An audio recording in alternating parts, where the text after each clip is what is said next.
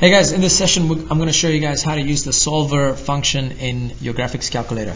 Alright, so the way it works is like, so say for example if I have an equation a equals b plus 2c.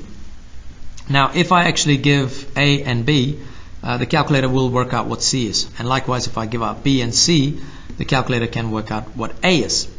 So the way you want to do this is you want to click on um, menu and go into the mode that says equation. Alright, that's usually number 8, as you can see there. Uh, once you click that, you're going to end up with simultaneous, polynomial, or solver. So you want to press F3, which is solver.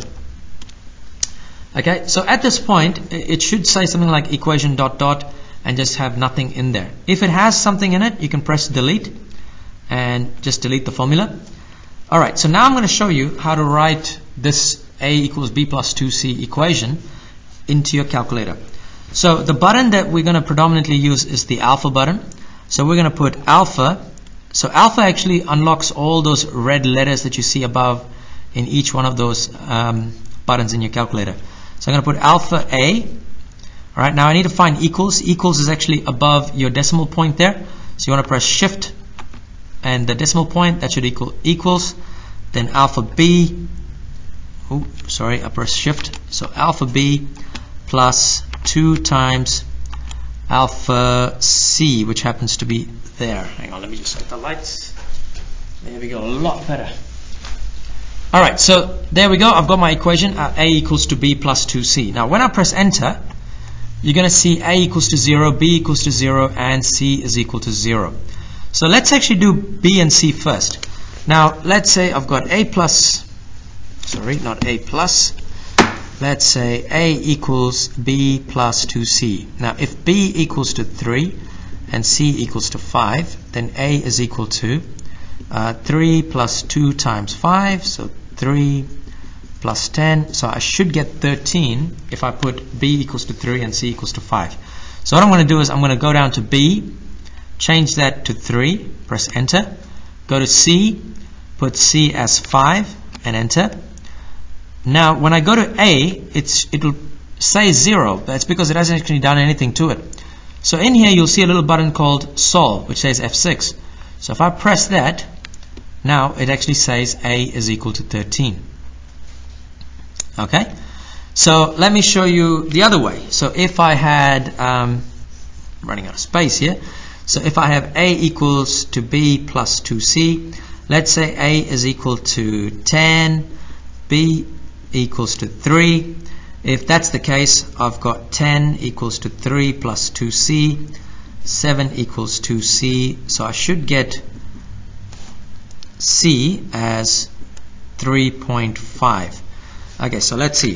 So to do that, I go into A, I change it to 10. Alright, B, I change it to 3. Well, it's already at 3. Now you'll see that C is actually at 5. But that's what we're trying to figure out. So we're going to go into solve press solve and as you can see we get C equals to 3.5 which is what we got here. Alright now this is a really basic simple little equation. Now I want to show a little bit complicated. Uh, this is particularly useful for people that are doing um, level 3 calc. Alright now you might end up with an equation that looks like this where P equals AE KT now what you want to do is um, once again you go into your equation, all right, get rid of that formula and you type in the formula as it is. So I've got alpha p, so I've got alpha p equals uh, alpha a multiplied by e, which happens to be shift ln.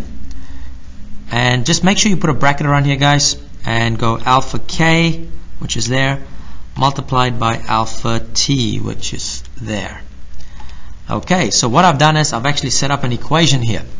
Okay, so what I want to show you guys is, I know there's a few numbers here, don't worry about them. I want to know what is P when A equals uh, to 30, K equals to 0.2, and T equals to 10. So P is what I'm trying to find, so I'm going to leave it as it is. I'm going to change A to 30, K to 0.2, uh, T I'm going to put it as 10, and when I go to P and if I press solve, I get P equals to 221.67. All right. Now, what I want to have a look at is if P equals uh, 400, A equals to say 30, uh, what is K when T equals to 3, for example? Alright, so in this case, I go into P, I'm going to replace P with 400, A is 30, K is what I'm trying to figure out, so I'm going to leave it as it is. T is 3, and now if I go to K and press solve, so this gives me a K value of 0.86. So guys, just remember any formula that you have, you can actually put in your graphics calculator and you can substitute it in here to actually figure out what the, um, well, whatever it is that you're looking for. Alright, it's just a quick way of checking some of your answers. Um, sometimes you might get errors, that's because you haven't actually entered the equation properly. So I'd actually ask you to actually check the equation that you've done it properly. But of course, always the old-fashioned method of just rearranging is going to work as well. Okay? Uh, any questions, just pop it in the comments below. But apart from that, thank you for watching.